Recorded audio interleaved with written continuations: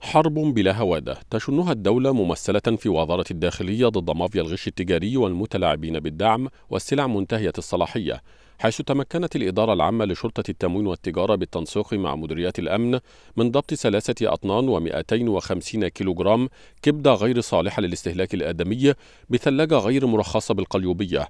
وضبط أمين عهدة تابع لأحد المجمعات الاستهلاكية لتجميعه 20500 عبوة سلع غذائية منتهية الصلاحية.